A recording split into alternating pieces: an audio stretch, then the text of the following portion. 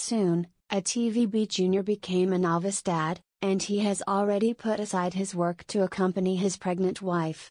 A few days ago, he held a prenatal party for his wife.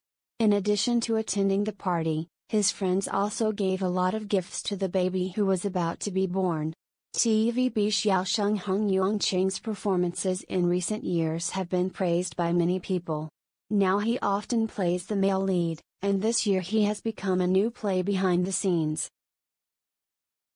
Having developed in his career, he has also developed smoothly in his relationship in recent years. He has married his girlfriend, who was once called Huaxin by the Hong Kong media, and it didn't take long to announce the good news of his wife's pregnancy. It turns out that his wife has been pregnant for nine months, so Hong Yongcheng recently held a prenatal party for his wife, of course, to welcome the arrival of the little baby. As the protagonist, the wife seems very happy. She holds a lot of decorations in her hand, and she deliberately wears soaring braids.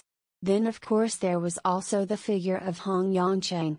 In the photo, his wife held her pregnant belly and embraced Hong Yongcheng's arm.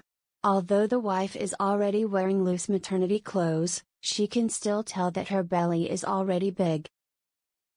As for Hong Yongcheng, he seemed very happy. Both of them were holding a balloon with the letter B, which happened to be BB when connected.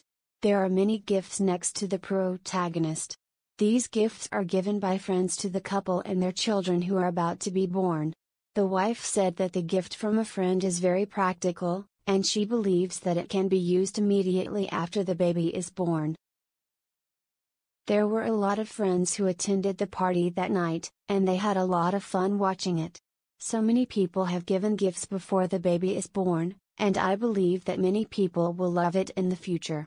Surrounded by a group of friends, they laughed happily, and the two of them took pictures with their pacifiers. Both of them are looking forward to the birth of a child, wondering if it is a son or a daughter?